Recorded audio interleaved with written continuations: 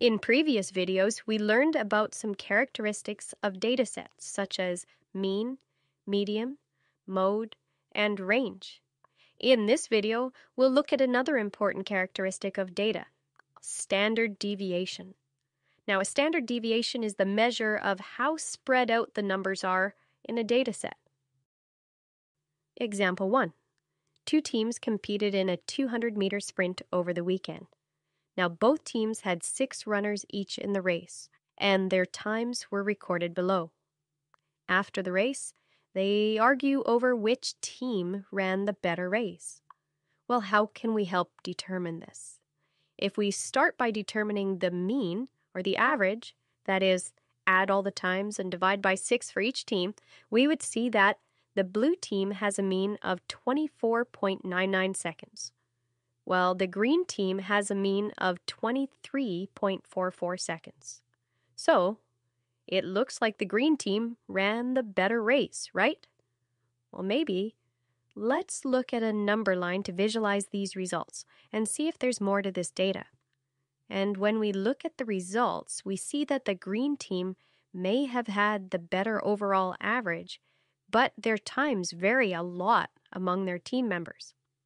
So it's hard to conclude that they had a strong team performance when some of their runners were probably close to last place in the race, and others, well, they really carried the team by going really fast. Was it truly a good team effort? Hmm. We look at the blue team, and they were pretty consistent as a group. There would be an argument for the blue team to have better team results, right? Considering further, if we were to picture this with additional similar data in the histogram and then draw a curve over the results to show the distribution of results, we would see that the blue team's curve is pretty tall and narrow, showing that the group were all close to that average. The green team, on the other hand, would be lower and wider, showing that there's quite a spread around their average time. It's interesting, right? Certainly, this tells us a bit more than the average by itself told us. Again, this spread is called the standard deviation, and standard deviation can be shown in the shape of the data distribution or as a number. In our example, the standard deviation for the green team, if we calculate it, is 4.03 seconds. While for the blue team, the standard deviation is 1.54 seconds. So the bigger the standard deviation, the more the spread of the data.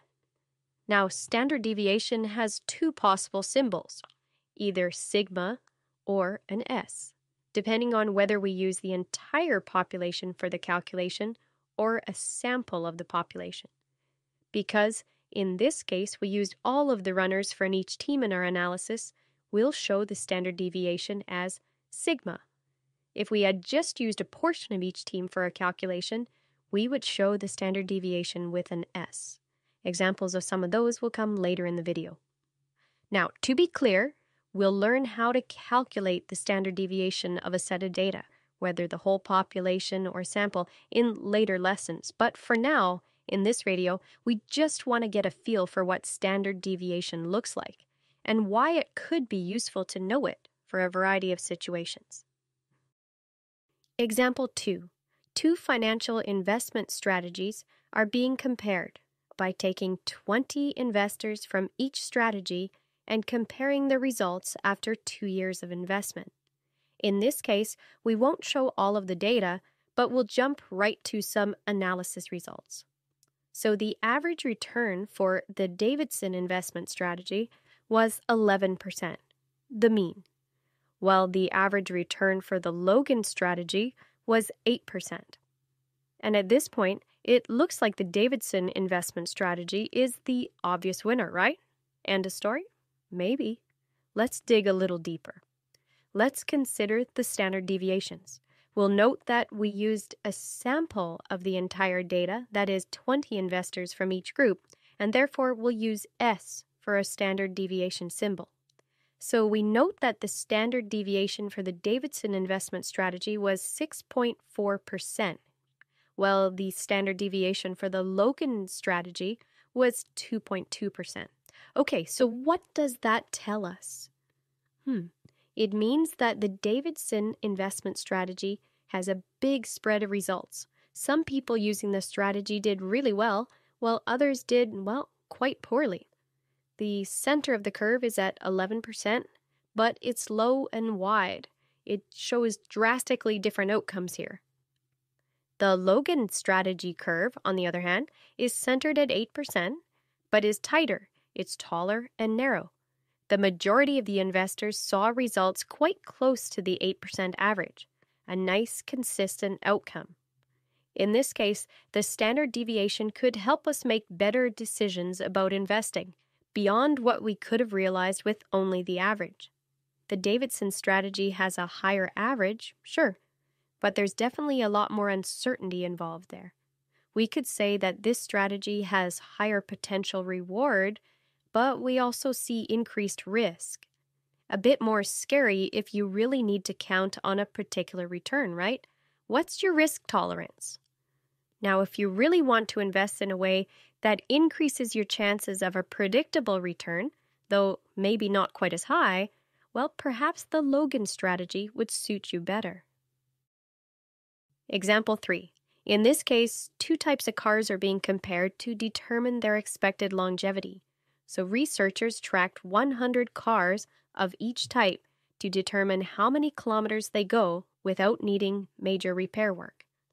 Car J was found to average 140,000 kilometers before major repair work was needed, while car T averaged 190,000 kilometers before major repair.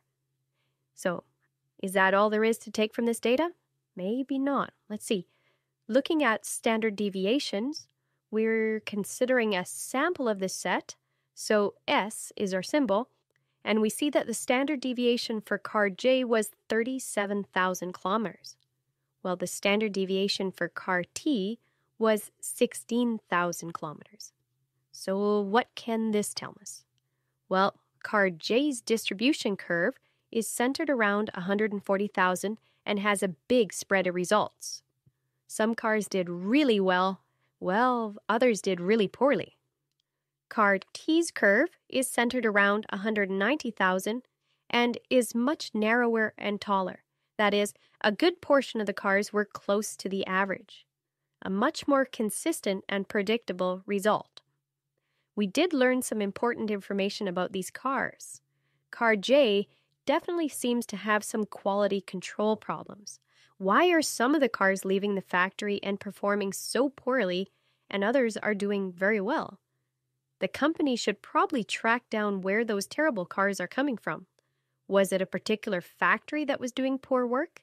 Was it a lack of testing in some areas? Was it a batch of poor engine parts? Why do they have such a big spread in quality? So, that company should definitely be going to dig further into what causes the inconsistency. Clearly, Car J has the potential to be a decent car, as some of them did quite well. Given that, they're definitely going to have to do some research to determine how to give customers a more predictable outcome. Car company T, on the other hand, can feel pretty reasonable about their consistency in the manufacturing and quality control. Clearly, there are no issues in the manufacturing that are causing big deviations in the outcome so they might look more at improving the overall quality process rather than running around looking for inconsistencies in their current process. In this video, we introduced the concept of standard deviation. Standard deviation tells us about how the data is spread out around its average.